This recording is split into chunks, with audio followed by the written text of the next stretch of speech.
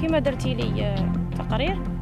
تبكي أمك قبل ما تبكي ما أنا. في حادثة مؤسفة بولاية سطيف الجزائرية حيث أقدم تلميذ داخل متوسطة بعين أزال بطعن أستاذة رياضيات. الأستاذة التي تدرس مادة الرياضيات بمتوسطة عين أزال أحمد قدوج.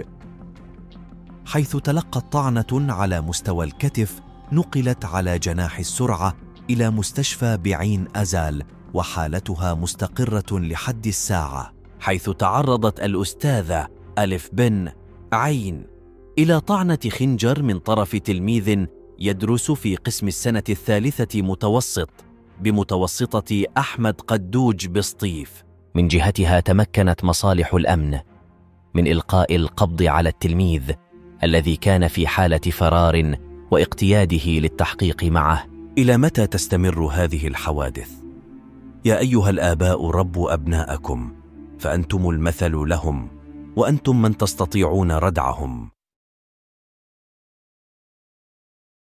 إخواني في الله أحتاج عشر ثواني فقط من وقتك. صلي على رسول الله صلى الله عليه وسلم. هل صليت؟ جيد. والآن قم بالاستغفار عشر مرات.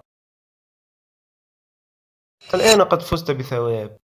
لا أريد إعجاب ولا اشتراك أريد منك فقط أن تصلي على رسول الله صلى الله عليه وسلم. أريد أن نجمع أكبر عدد من التعليقات. للصلاة على خير الأنام. حبيبنا محمد.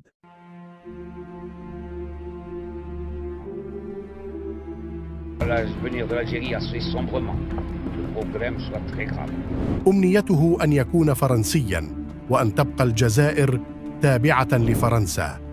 ليس هذا فقط بل أراد أن يكون كاثوليكيا أكثر من البابا نفسه الشيء الذي جعل الجزائر تتأخر في نيل استقلالها لمدة قرن وثلاثين سنة هو كثرة الخائنين والحركة الذين لم يكتفوا بالخيانة والعمل لصالح فرنسا فقط بل أنهم قاموا بعمليات تعذيب واسعة في حق أبناء وطنهم.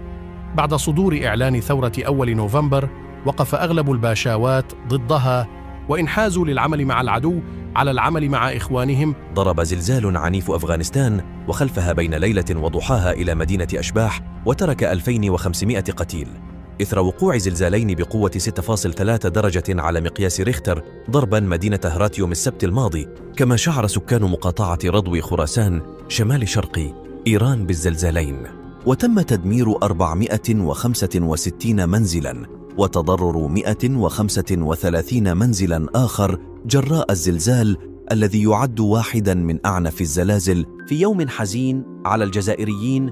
توفي شرطي جزائري أثناء تأدية مهامه الشريفة.